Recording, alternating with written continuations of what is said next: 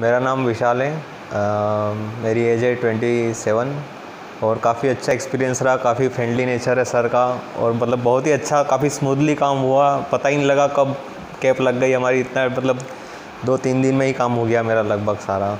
बहुत अच्छा लगा। अच्छा लग रहा है मुँह बंद करने मुँह बंद करने के बाद काफ़ी अच्छा, अच्छा लग रहा। है अच्छा लग रहा है नेचुरल कैप लग रहा है? नेचुरल बिल्कुल नेचुरल पता ही नहीं लग रहा। कैप अलग से भी लगी है।